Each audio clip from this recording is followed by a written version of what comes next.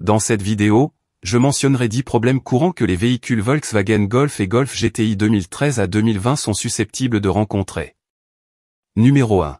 Le bouchon de vidange d'huile moteur en plastique est susceptible de développer des fuites d'huile au fil du temps. Le remplacer lors de chaque vidange d'huile minimise le problème de fuite d'huile. Cependant, un problème plus grave est qu'après avoir retiré et installé le bouchon de vidange plusieurs fois, il y a un risque d'endommager le carter d'huile en plastique. Pour éviter ces deux problèmes, il est recommandé de remplacer le carter d'huile en plastique sujet aux défaillances par un remplacement de rechange de bonne qualité fabriqué en métal similaire au carter d'huile affiché à l'écran.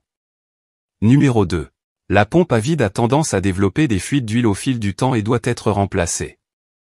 Numéro 3.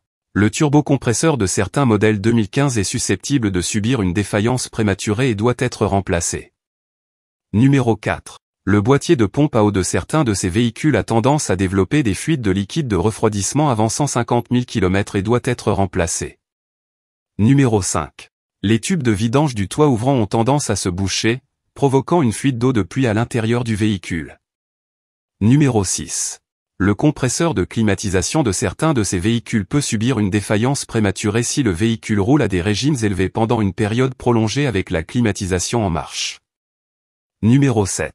La plaque de pression d'embrayage et le disque d'embrayage d'origine sont sujets à une usure anormale et à une défaillance prématurée lorsque le véhicule est conduit à fond, et lors de l'ajout de pièces de performance au moteur qui augmente sa puissance de sortie.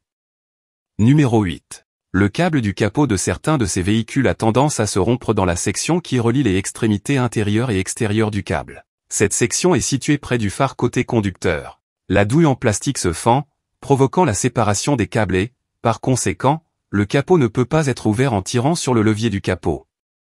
Numéro 9. Le sous-châssis et les boulons de suspension ont tendance à s'étirer, provoquant des bruits de cliquetis lors de la conduite sur des bosses et lors d'un freinage brusque. Numéro 10. Certains modèles 2015 et 2016 ont été rappelés aux États-Unis parce qu'une pompe d'aspiration défectueuse à l'intérieur du réservoir de carburant fait couler du carburant dans le système EVAP. Saturer la cartouche et présenter un danger d'incendie. Ce sont dix problèmes courants que les véhicules Volkswagen Golf et Golf GTI 2013 à 2020 sont susceptibles de rencontrer.